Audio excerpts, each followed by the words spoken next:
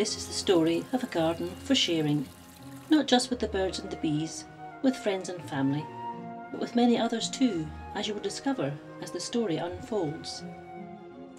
I'm Anne Massey, and our garden story begins when my husband John and myself moved here in 1999.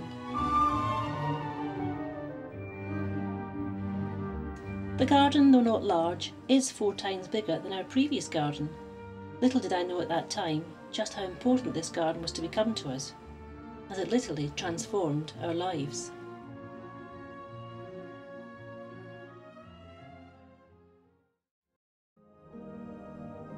As one of six children growing up in a home which had substantial grounds, I had absolutely no interest in the garden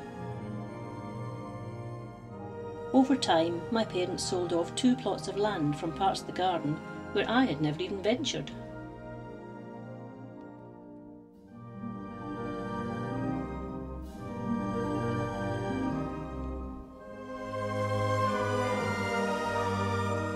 The gardening bug, however, must be in my genes, and in their last home together, on the Scottish Isle of Arran, a photograph of my parents' garden was used as the back cover of a beautifully illustrated book the most beautiful villages of Scotland.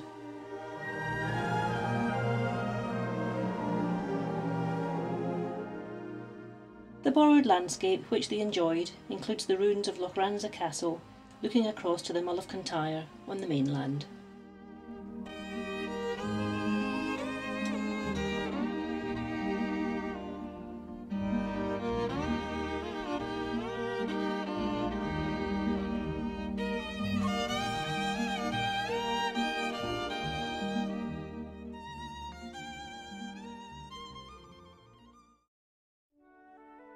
The first year after our house move, we set about getting the layout right. This was to include a two-level pond, which could be viewed directly from the conservatory. The soil excavated from the pond was used to raise the levels towards the back right-hand side of the garden. We were lucky enough to have a mature Acer campestre. This allowed us to introduce two sets of steps, splitting the garden into upper and lower levels.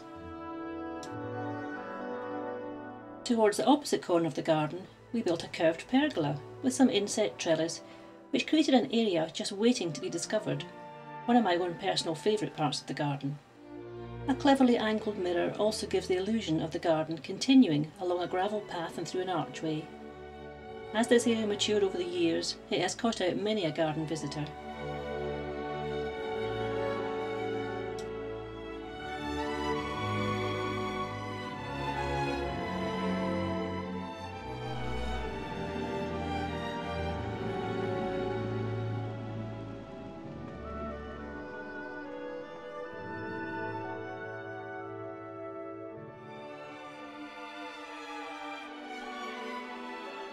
It was only two years later that we decided to enter the Best Back Garden category of the local garden competition, and to our astonishment, we won. The judges were very complimentary and also commented that they would look forward to coming back to see our front garden finished. We were hard at work at the time digging out 22 tonnes of soil to create the central sunken circle. And lo and behold, the following year we were delighted to win the Best Front Garden category too.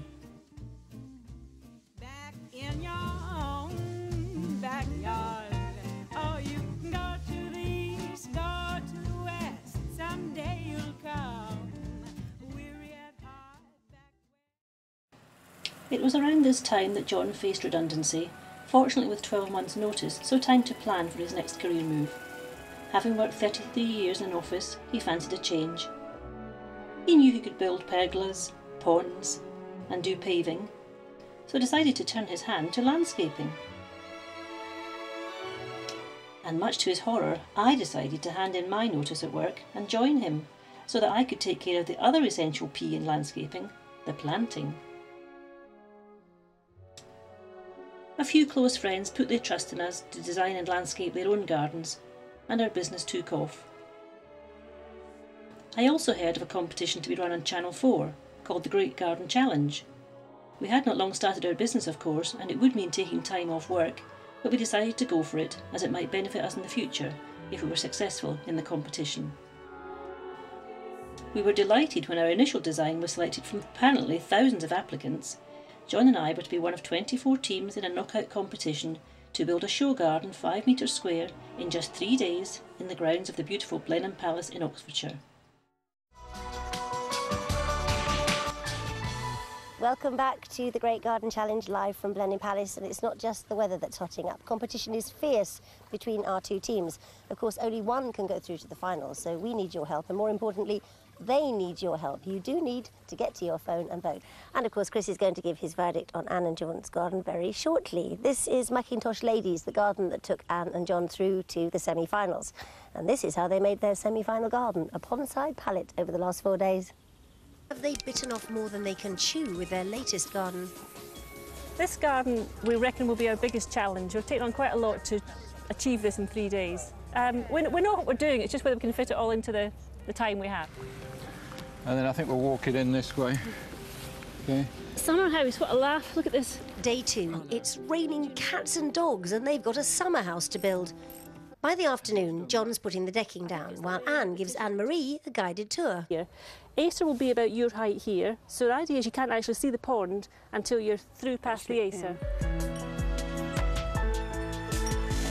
It is absolutely lovely, this garden. I just Very love peaceful. sitting underneath this canopy. It's so cooling to be beside this pond and under this canopy on such a warm day as today, isn't it? It is, yeah. Beautiful. Now- I think they've made most use of the space actually because this needs to be backed off and it's right at the edge of the plot. So they've got lots of opportunity then to make as big a pond as possible and get some of their gorgeous planting in. It's just absolutely beautiful. I think Anna's really excelled herself here. What's your favourite? Well, I've got lots of favourites. Sounded hopeful, didn't it? However, despite the judges' favourable comments and us winning the public vote by an overwhelming majority that day, we were beaten at the semi final stage. That's television, darling. The Wokingham Times had followed us through the competition, from our round one woodland garden to our quarter final Charles Rennie Mackintosh inspired garden. And of course, our semi final garden, a pondside palette. We were naturally disappointed to lose with what we considered to be our best garden. We were, however, exhausted and perhaps slightly relieved not to have to build a fourth garden just a week later.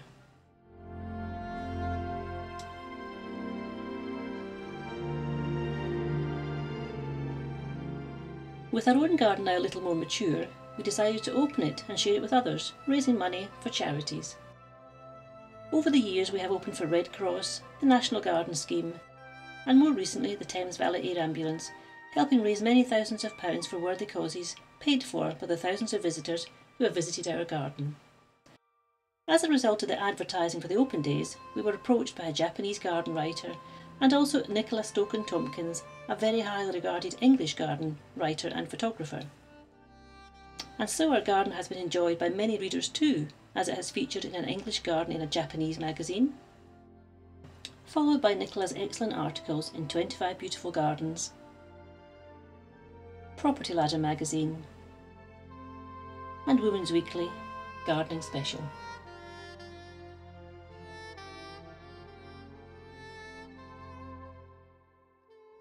A major recent change to the garden was the rebuilding of the upper pond.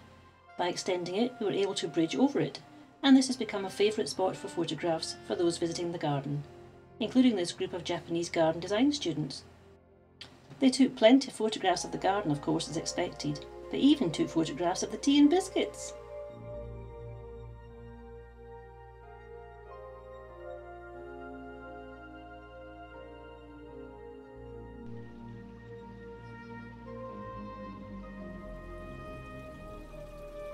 As summer turns to autumn and the flowers develop their seed heads, time to look back at the season just gone to remind us of how the garden looked in the depths of winter. Then the first flush of spring with the freshness of new growth. And the colourful perennials providing interest from May right through until October. It's also time to look back at how circumstances brought me to where I am today. Had my parents not been keen gardeners, perhaps I would not have been either. Had it not been for my own redundancy payout in 1999, we would not have moved to this house with its larger garden. Had I not entered the gardening competitions, we would not have had the confidence to open our garden. Had John not been made redundant, we would never have started our business.